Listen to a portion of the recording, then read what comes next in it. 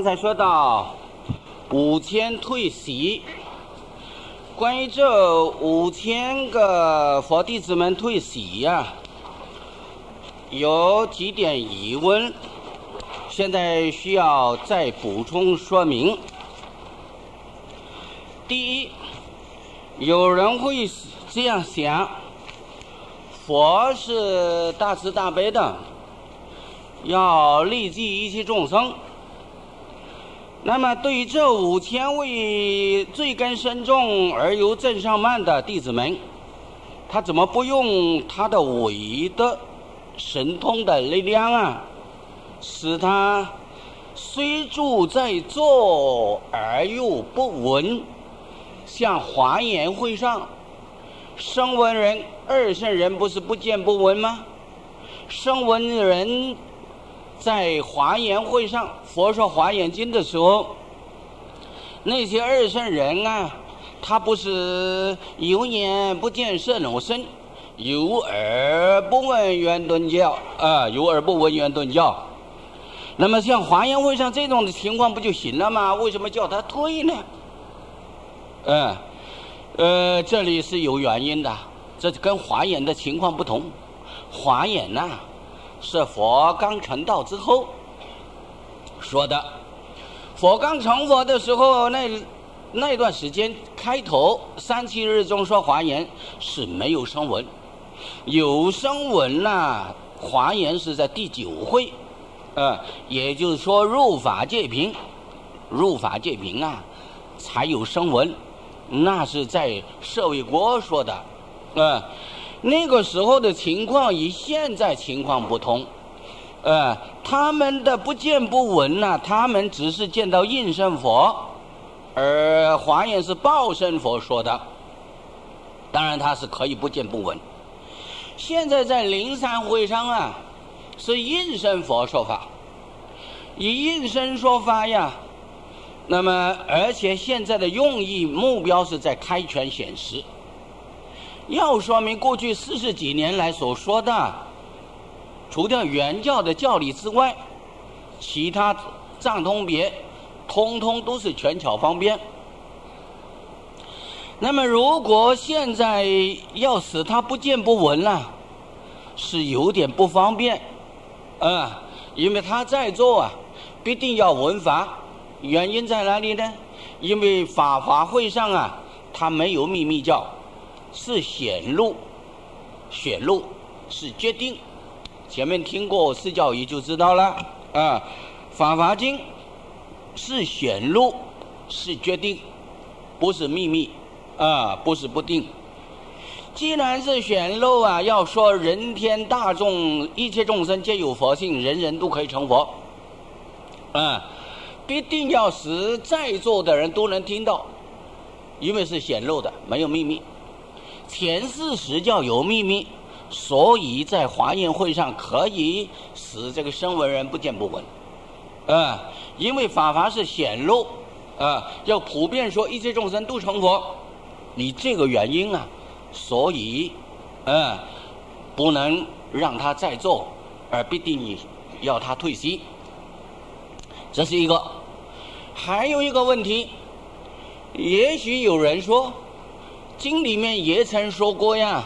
从前久远之前，像像有一位喜根比丘，与圣意比丘，这两位一个信大法，一个呃信小法，呃，那么小信小法的人对大法生诽谤，但是这个信大法的比丘还是硬是为他说说大法，呃，这个叫做呃。让他种下这个大法的善根。现在虽然是诽谤堕落啊，将来有闻大法的因缘。那为什么不让他们听？纵然诽谤堕落，将来也种下善根，可以闻大法呢？呃，怎么不用这种方法？这里法华会上跟前面的说法不一样。呃，前以前所说的这个喜根比丘跟圣意比丘的那种情况啊。圣域是完全不知道有大法，不曾种过大法的善根，所以那那个时候可以用强勉强的方法堵他，让他听了之后纵然诽谤，也种下善根。例如佛像啊，是个旃檀寿木所做的是香木，嗯，你用手去摸它，固然是得到香味；您打它也得到香味，但是打你的手会痛，啊，不过你已经沾香了。叫他种善根，跟这个情况相同。但是这五千对席呀，这五千个四众弟子。跟那这个圣意的情况不一样，怎么不一样呢？这些人都种过善根，都种过大圣善根。等到后边呢，化成玉瓶就说到了，久远之前都种善根。现在是因为他的时间没到，因缘没熟，嗯，并不是说他没有善根，没有大圣善根，大圣善根他是有的，可是，在法法会上没有熟，没有成熟。你现在堵他的话。那就损害他的善根，嗯，反而在这一生啊没有办法得到大法的开悟了，嗯，那么这五千对席在法华会上当时是没有得法，没有得到利益，可是他到了涅盘会上得益，所以呀，智者大师把这个涅盘经跟法华啊把它合并起来成为一一个时候，法华涅盘时，因为它的教理是相同的。啊，而且涅盘呢是帮助法华圆满这个功德。这五千对席到了涅盘会上就会开悟，就会得到大法的利益。这个时候让他退退去，不要让他诽谤啊！而且前面他已经听到这个略开三显一了，已经有一点点种子啊，那么使他在涅槃会上会会斗的因缘。啊，那么因此啊，现在让他退，等到涅槃会上再过七八年，释迦牟尼佛要入涅槃的时候，说涅槃经啊，他们就会开悟的。所以现在只好让他退，啊，不能勉强的要他在这听而升起毁谤，啊，呃不谤。那么现在这个时候虽然没有得到利益，他退了，啊，但是等到涅盘会上再过几年呢？他的善根就成熟了，这个时候给他听太早了，嗯，好像这个农业种东西啊，种的这个各种的植物啊，您刚种下去，它刚发芽，那你就用用这个很很浓的肥料把它加进去呀，必定会毒死，非死不可。那么让它再过几天呢，它长大了，根深蒂固了。这个时候浇这个浓厚的肥料啊就没关系了，这个情况跟这个一样。所以现在这个时候不能给它闻大法，因为它太嫩了，太嫩了，呃，不能让它闻大法。等到涅盘会上，哎，行了，那个时候它已经啊根深蒂固了，可以接受这个浓厚的呃肥料了。所以到了涅盘会上，他就会开悟。那么这只是时间问题，并不是不度他。也不是佛不慈悲，这就是佛能观机应机说法的这个殊胜了。如果我们普通一般讲经法师是没有这个可能啊。那么，例如我们现在在座哪一位有大圣善根，哪一位没有大圣善根，谁知道啊？连我自己我也不知道我的善根在哪里。啊，那么因此之故啊，呃，我们现在只能照本宣科，照本宣科。经文里面有的我们就讲。啊，那么在佛在世的时候，他能关机呀？知道这五千人，啊，这个时候的让他退，退了之后，将来在涅槃会上得利益，啊，所以现在退啊是有好处，没有坏处，只有好处没有坏处，所以要他退，用意在这里啊。那么这是关于这个五千对席的问题呀。呃，在文具会议里面还有好多的解释，呃，现在从略最主要的这两点已经明白了，那么就不不会怀疑说，那佛为什么不让他听而要让他推呢？退的因缘呢，是让他稍微等待一下子，再过几年涅盘会上他就会得到利益。所以《涅盘经》里面说八千声闻呢的的蒙受记。啊，在涅槃会上，呃，不止五千，而且是八千，呃，这还增加三千人啊。所以这些五千呃四众弟子到涅槃会上会得一，现在只是暂时让他退一下就是啊。下面是新字下第三，正说，嗯，正要说这个妙法。那么这有两颗，这个科判的文字啊，本来很长，呃，但是在这个书名上不能写那么多，写的比较简单，啊，第一叫做四佛章，四佛呀，就是诸佛，过去、现在、未来。三世佛，这个叫做四佛。第一是总含的诸佛，嗯，那么第二就是过去佛，第三现在佛，第四未来佛，合并起来就是四类的，也过去现在的佛，叫做四佛章。这个四佛这一章的经文是说广上诸佛全实，前面略开山显义里面有呃说诸佛的全实吗？这里就详细的说，详细把前面的诸佛全实的道理啊，在这里啊把它分别。第二，释迦章，释迦牟尼佛这一章，释迦章叫做广上释迦全实，呃，那么这个书名上的科判没有写那么多，只写释迦章，就是要把这个上面略开山显一的释迦章那一段。呃，他说的释迦牟尼佛的全实诸法，在这里详细说明，叫做释迦章广上释迦全实，下面有广上释迦全实这几个字，四佛章下面有广上诸佛全实四个字，啊，因为这是开机，呃，这是呃开权显实，所以总不出全实两个字啊。先讲第一四佛章，呃。有两段，第一总名诸佛，第二列三世佛，诸佛另外为一章，就是前面略开山显义所讲的。再把这个过去、现在、未来三世佛分开来说，啊，就列三世佛，那么就在后边。现在先讲第一总名诸佛，总说明诸佛这一章啊，呃，这里。本来总名诸佛合并起来，应当有六段的意义，六段的意义啊。那么就是第一，探法西游；第二，说无希望；第三，开方便；第四，是真实；第第五，举五足是全；第六，卷尾敦信。有这六章，每一段都有六章。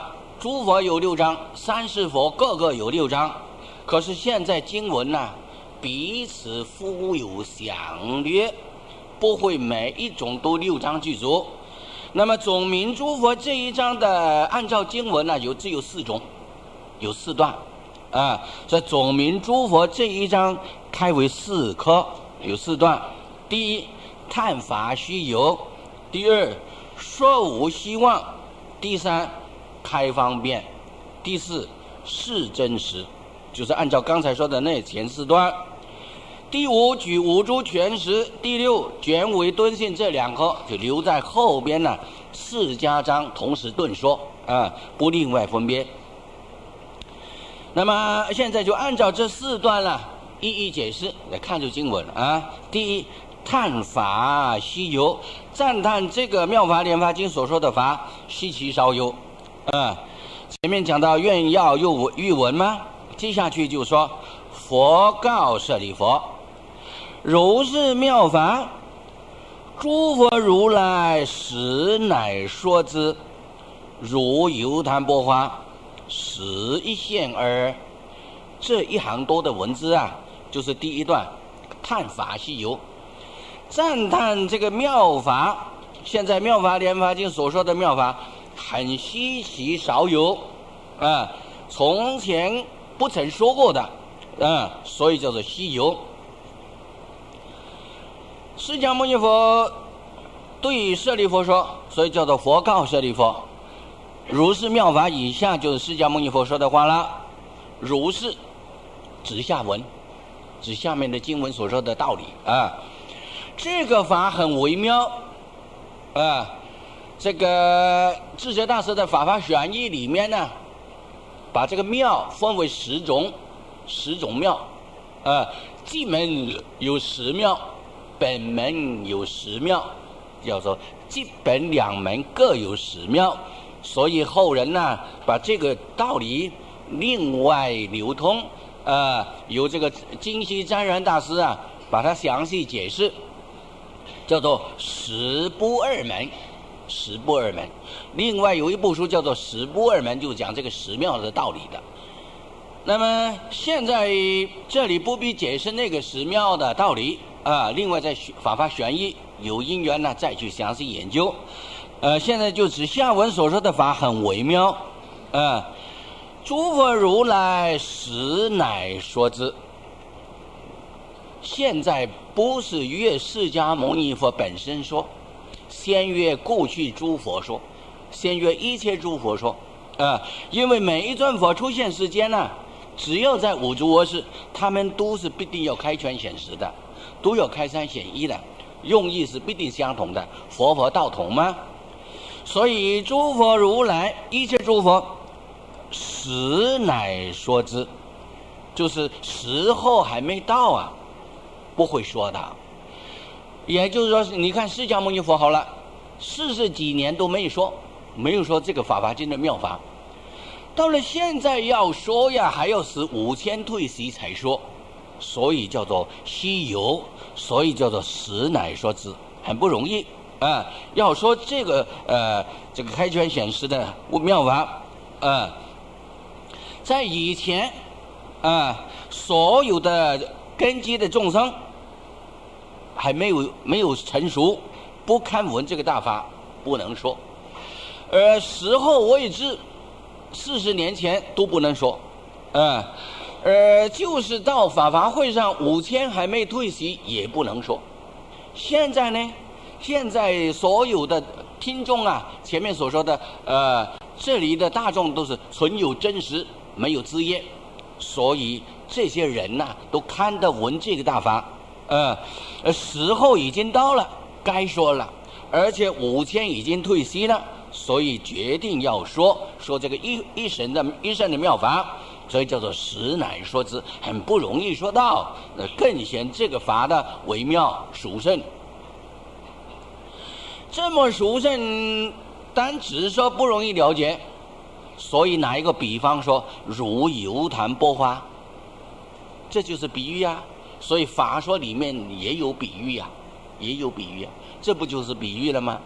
好像油坛波花，油坛花，我们平常简称的油坛花，油坛波花，详细叫做油坛波罗，油坛波罗花，现在就简称油坛波，嗯呃简再简单就是油坛花，嗯，油坛波罗或者是油坛波或者是单油坛，翻成中国话叫做灵瑞，灵瑞，灵啊。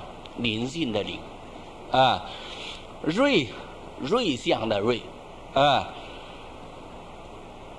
据说这个油昙花呀，三千年才开一次哎，三千年才开一次，很不容易碰到，嗯，既然是三千年才出现一次，据说如果灵瑞花这个油昙花出现的话，金轮王就要出世了。啊，三千年才开一次，就显示三圣根性的众生呢，要到法华会上才能根性成熟，可以开三显一。三千年开始，啊，那么同时啊，要经过洛、生疏、熟疏这三位，然后才说这个无上提福的法华的妙位，啊，所以这个法华经啊，这个妙法怎么样子稀有？好像油摊法，三千年才出现一次，很不容易。释迦牟尼佛出现时间说法四十九年了，也只说了这么一次，只说这一次。这个《法华经》说完以后啊，不久也就入涅盘了，就说《涅盘经》了。啊，所以要说法华呀，因缘很很很不容易。嗯，这就是叹法虚有，赞叹这个妙法很稀奇少有。好像林瑞华，嗯，那么三千来年才现一次，所以叫时一现而时候到了，三千年经过，时候到了才出现一次。这个油丹花不是我们现在一些那么种的，跟那个呃一一每年都在开的晚上开的那个呃也叫做油丹花，那个实际上不叫做油丹花，那叫做情花，啊，秦瑶的那个秦啊是秦花，啊，秦花了啊，不那个不是油丹花啊，只是它现的时间很短呐，它只在晚上开，哎，天没亮之前它又收起来了，就谢掉了。啊，这样称为油檀，实际上那是情花，不是油檀花。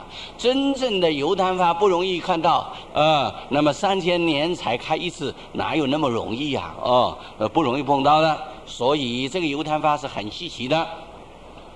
下面第二，说无希望，这个用意是劝信，劝信，因为从前没说过呀，现在说的跟从前不一样啊。恐怕那些声闻人听了之后啊，啊，不能升起信心而怀疑，那就不好了。所以这里要劝信舍利弗，啊，对舍利弗说：“汝等当信佛之所说，言不希望。你们应当要深深相信佛说话呀，必定算数的，啊，不会有一点点不正确的地方，啊，你要深信佛所说的法。”啊，所讲的都是实在的，所以不虚；所讲的都是真的，所以不妄。啊，是真实的，不虚妄。啊，你要深深相信。所以《金刚经》里面说：“如来是真于者，实于者，如于者，不狂于者，不异于者。”啊，那么佛说的法绝对是实实在在。啊。这个道理很深，嗯，跟从前所讲的拳法不一样，这是实法，跟从前的拳巧方便不一样，啊，所以叫做啊呃，这这个权理与实力不同，那么因此恐怕他升起啊怀疑，呃，必定要坚定他的信心。这里所讲的道理很微妙。啊，跟前面的拳法、拳巧方面不一样，啊，所以恐怕他听了生起怀疑，也必定要兼顾他的信心。这里所说的修行法门，是一一定要到就近宝所，要就近成佛，不像前面三圣的果位啊，是化成是方便，跟前面的修行法门呢，也有方便就近的分别，所以因此啊，要再兼顾他的信心啊。那么要一再的劝信，恐怕他升起这个毁谤啊，怀疑就会谤，所以呀，要坚定他的信心，说无希望。佛说的都是实实在在，一点也不会有虚妄之说。实际上四十几年来，大家亲近佛亲近那么久了，都会相信佛说的。不过过去一向不曾这样说，今天说的不一样啊。大家是会惊动的啊，所以必定要劝信啊。说无希望就劝信。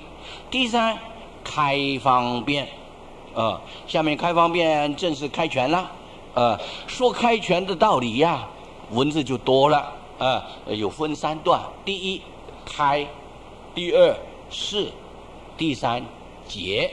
开、是、结三段啊。先讲开。就是开方便，呃，经文里面说，舍利弗，诸佛随意说法，意趣难解，这就开，这就是开。不但是释迦牟尼佛，过去、现在、十方三世一切诸佛都是一样的，随众生的机宜而说法，以众生的根基适宜。啊，随众生的根基是宜而说法。那么，因此佛所说的法呀，它的宗旨、它的去向、它的意义，很不容易了解的。啊，难解是可以了解，但是很难就是了，不容易了解。啊，因为从前都是说三圣法，权巧方便。啊，那么大家听到都是三圣法。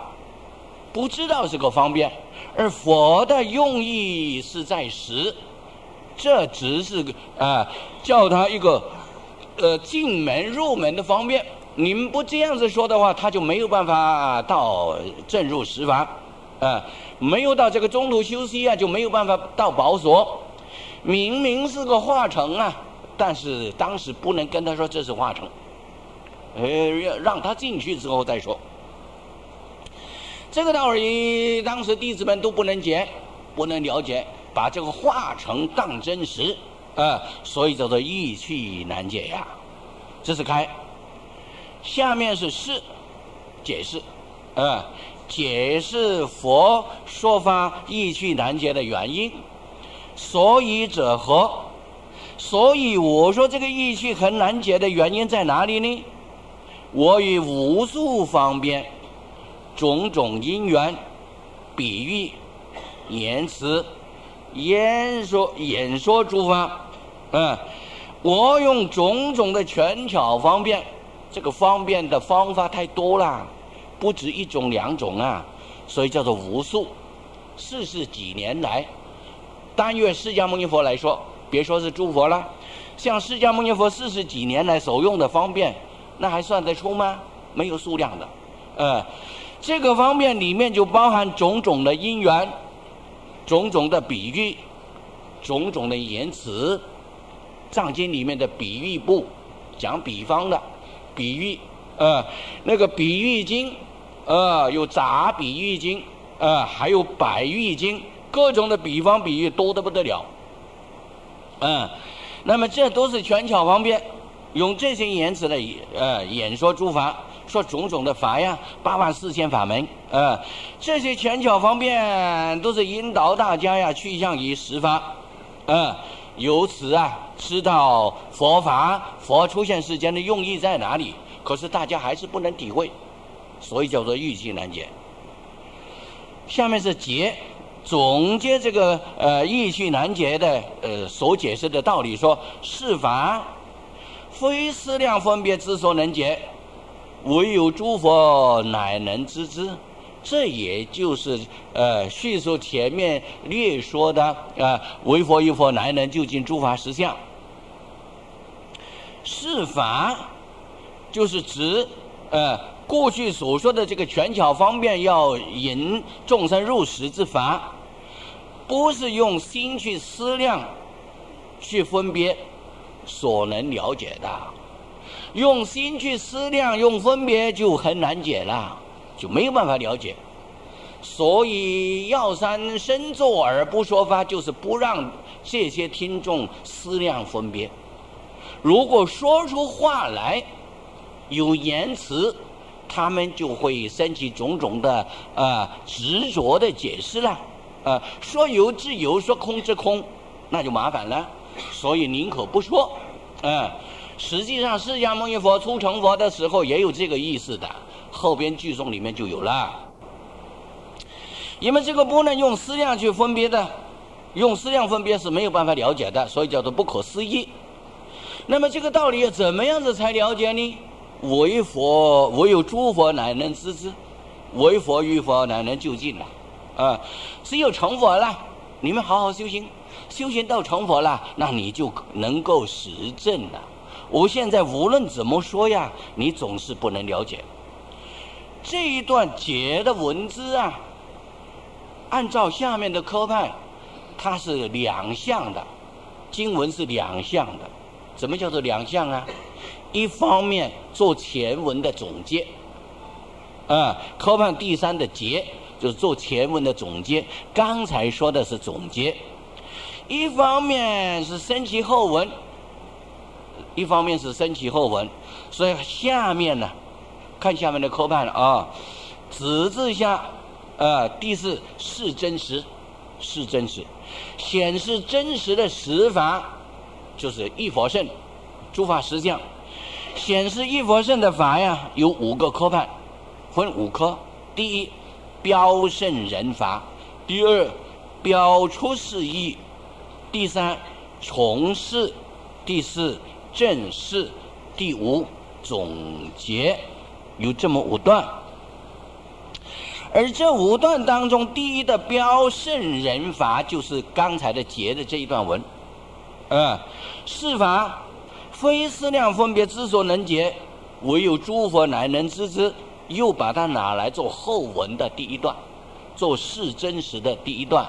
那么简单说，这一段文呢，也是开方便的结文，也是是真实的开头的升级的文字，啊，所以说这里显示下文所说的真实，啊，标出。呃，殊胜得法之人就是佛，标胜人法，标出殊胜的人就是成佛的人，啊，成佛的人才能体悟到这个诸法实相的自理，所以为佛与佛难能就近，所以叫做标出呃得法的殊胜之人就是佛。呃，所说的法，殊胜之法，就是妙法，有下文所说的妙法。那么这一颗就是是真实的第一颗标胜人法。后边第二标出是一，标示出佛出现世间的用意。无论是过去、现在乃至未来，一切诸佛出现世间的用意啊，下文就把它表达出来了，啊。所以者何？诸佛世尊唯以一大事因缘故出现于世，这就叫做标出世意，标示出佛出现世间的用意。所以我说这个法很殊胜，要佛才能了解的原因何在呢？因为无论是哪一尊佛。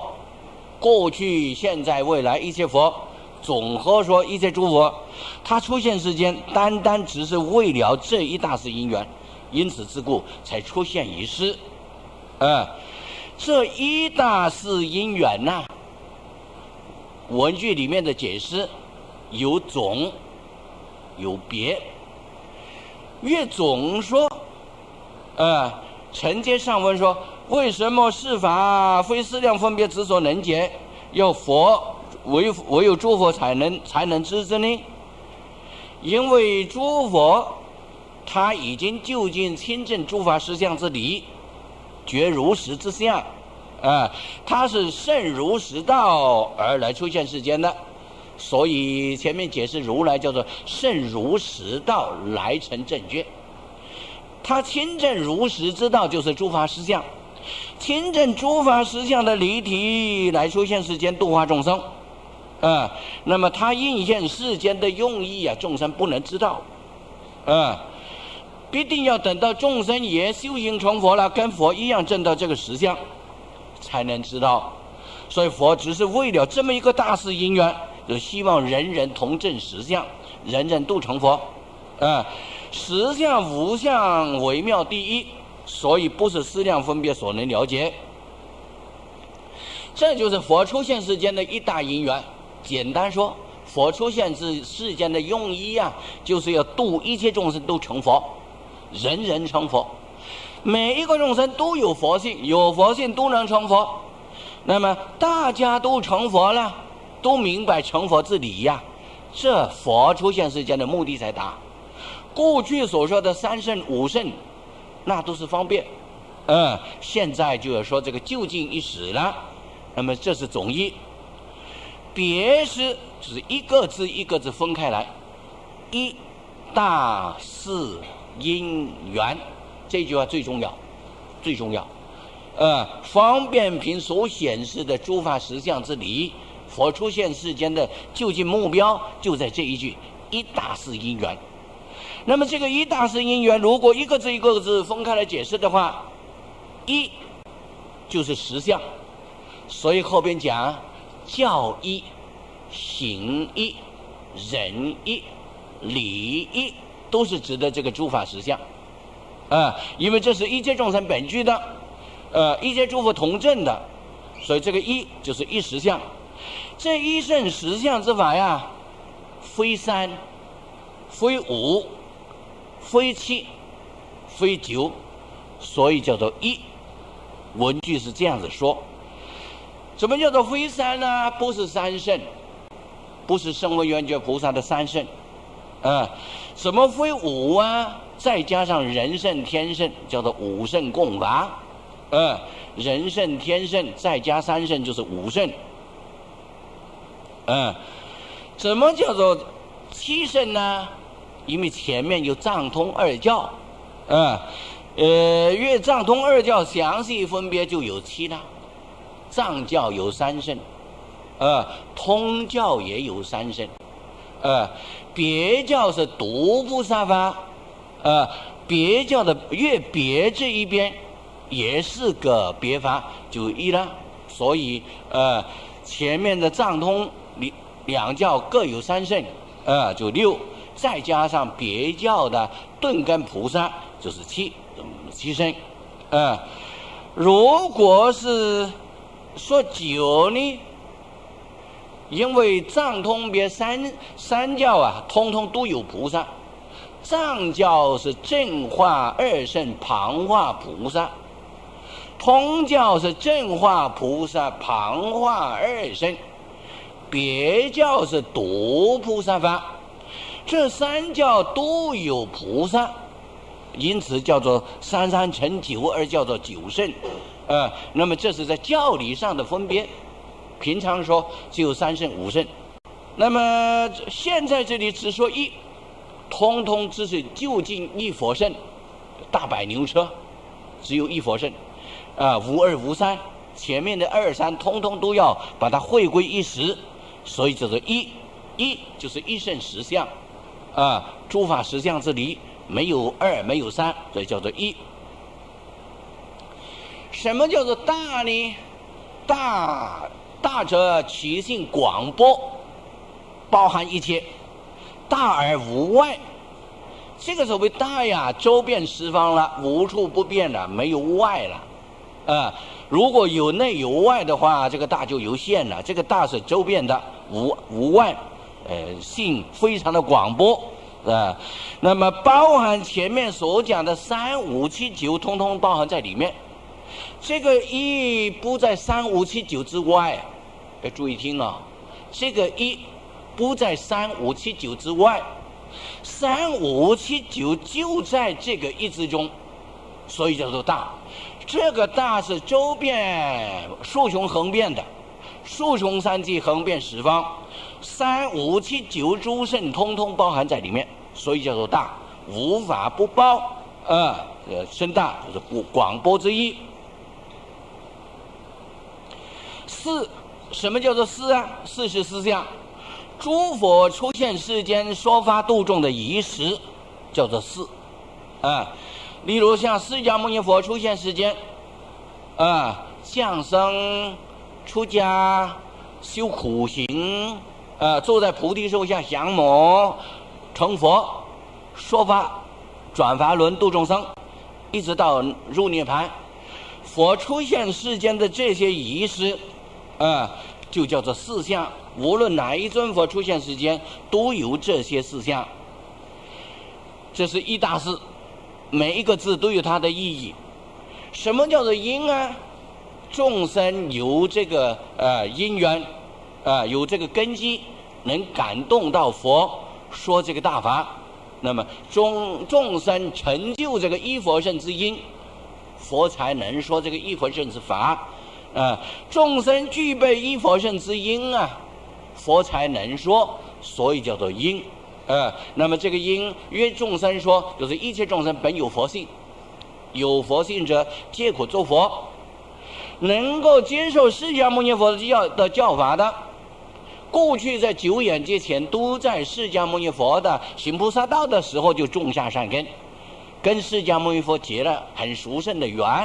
无论是正法、相法、末法，能够遇到释迦牟尼佛的教法，尤其大圣佛法《法华经》，能够深信而力行之，这都是久远种善根的。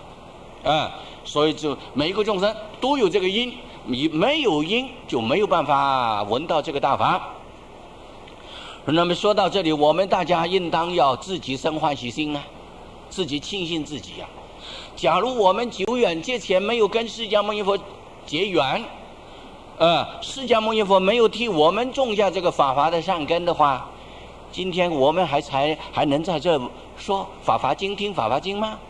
这都有因缘的，啊，你不要以为简单了，呃，有因缘才能听到的，没有因缘听不到的。我从前曾生过一个一次大病，病得很严重，差不多差不多无常要来了，要呜呼哀哉，呃，可是没去，怎么会没去啊？哎，很有意义，很有意义的。当时有一位长老来看病啊，啊，就是道元老法师，他也到病房去看我的病，看到我躺在病房里，话都说不出来了，他就摸摸我的额头，啊。啊，你会好，会好，你好起来呀，呃，就要讲《法华经》。我劝你，你现在发愿，发愿讲《法华经》，你的病就会好。当时，呃，道元老法师到我到我看我的病的时候，他摸摸着我的额头，啊，我眼睛看住他，我话都不想讲，啊，也没有精神。那么他这个老法师就一一直在对我说，呃，你会好。会好，必定会好。不过你现在要发愿，发愿将来你好了讲法华经，发愿啊，发愿。你现在发愿，发愿你好了要讲法华经，你一定会好。我听到老法师这个呃这个话，呃，我真的内心就发愿。假如我真的好了，无常不要来的话，呃，我好了，我要讲法华经，心里这样作念，真的慢慢也就好了，哎。好了以后，果然呢就有这个因缘讲《法华经》，嗯，那一次生病之前不曾讲过《法华经》，哎，很奇怪，不曾讲过《法华经》。那一次病好之后啊，呃，外边人请讲经的第一部经就是《法华经》，哎，妙极了，真是妙法，妙极了，呃，在哪里讲《法华经》啊？呃，中立原化院讲了五年呢。不过一年讲一个月两个月了，不是天天讲啊。呃，那一次病好了讲《法华经》，这可见我们老早以《法华经》结了很殊胜的缘。呃，假如没有这个缘，我那那次病无常就来了，呜呼哀哉上香的话，呃，那还能讲《法华经》吗？你们还能听到我在这讲《法华经》吗？而且这我还不是第一次呢，已经讲了好几次了。呃，所以大家都是与这个《法华经》有缘呐，深深生起信心，啊，那么有这个清音，再加上佛的助缘，下面的缘呢，就是如来，佛就是正上缘，佛度众生啊，不能把众生硬是拉到极乐世界去，耶，他只能做正上缘。所以《金刚经》说：“度尽一切众生啊，实无众生得灭度者。”呃，因为佛菩萨度众生只是做正上缘，帮助他。假如他自己不修行，哪有哪有办法把他硬是送到佛国去呢？所以这个缘呢，就是佛。呃，佛成这个经众生根基成熟了，就来说法，帮助他，使他呃开山显一，开权显示。啊，这就是佛的出世本怀呀！佛出世间的本怀，这一大世因缘由此出现一世。先开三说三圣法，四十一年来开三圣法，那是做说一圣法的龙音呐。说龙音懂吗？呃，弹琴的音乐家，弹琴的啊，罗勒米花啊，六光车，呃，这个弹琴的他必定要先把这个琴琴线调好啊。太松了，没有声音；太紧的，啪断了。呃，他不是先调，调那个琴线叫做拢音，拢嘛，手去拢啊，拢音，做音子，先拢好了，等会才才能弹啊。那么然后才能够把这个呃很好的音乐弹出来。前面四十几年来，这个拢音做了那么久啊，才把这个弦线、这个琴线弄好。哎，现在说《法华经》才是真正的。呃，把这个音乐找出来，呃，也就是说，佛说法四十几年来，多数都是随他意语，随自他意语，少数有自随自意语呀，都是秘密的说，啊，大圣根性、顿教根性成熟了，才能秘密的听到，普通一般都没有办法接接受的。现在在法华会上，对人天百万大众。啊，在灵山会上的无量人天公开的宣布，佛为一大事因缘故出现一事。啊，佛就完全为了这么一个大事因缘，目标就是是人人成佛，个个都有佛性，一切众生皆有佛性，都能成佛。这个道理到了《法华经》才完全表露出来。法华之前不曾说过这个话，啊，所以叫做前面三圣五圣呢，都是拢因事先的准备了。要说一圣的事先的准备，现在才能说啊，这就是呃这个是真实的第二段的文字啊。下面第三，啊，从事从事应当就是真问了。为什么说佛为一大事因缘出现一事啊？所以下面经文就说：舍利弗，永和明诸佛世尊唯一一大事因缘故出现一事。